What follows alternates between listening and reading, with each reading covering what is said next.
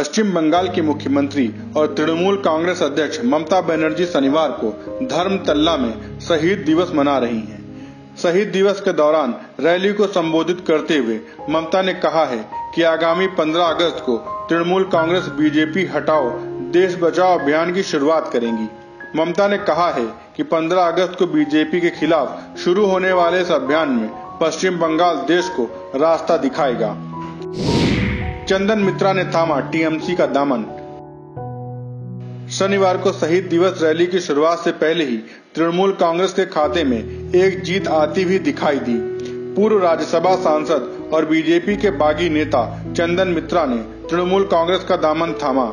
2019 में होने वाले लोकसभा चुनावों से पहले चंदन का टीएमसी में शामिल होना विपक्ष की जीत के तौर पर देखा जा रहा है।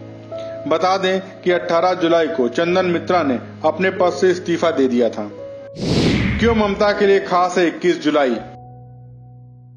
उल्लेखनीय है कि उन्नीस सौ तिरानबे में पुलिस फायरिंग में मारे गए पार्टी के 13 समर्थकों की याद में हर साल तृणमूल कांग्रेस अध्यक्ष ममता बनर्जी शहीद सभा का आयोजन करती हैं। इस रैली में हर साल की तरह इस साल भी पहले से ही कार्यकर्ताओं द्वारा भीड़ को जुटाने और लोगों को रैली स्थान पर जुटाने के लिए काम पहले से किया गया है। न्यूज़ टाइम्स के लिए अभिषेक मिश्रा की रिपोर्ट। सब्सक्राइब करें हमारे यूट्यूब चैनल को और हर अपडेट पाने के लिए बेल आइकन को दबाएँ।